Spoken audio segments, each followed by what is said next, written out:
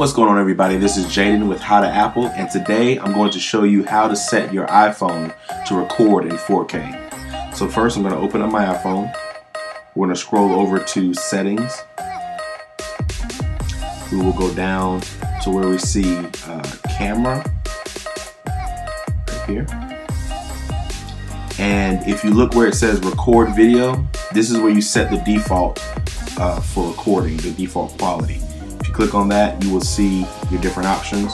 I'm gonna put it on 4K 60 frames. And there we go. You can also change the recording for the slow-mo camera as well.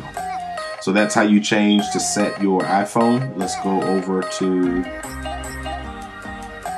the camera. Go to video. And if you look at the top right corner, you'll see it says 4K 60 frames per second. So that's how you set that up. And if this video was helpful helpful to you, then give it a, give it a thumbs up.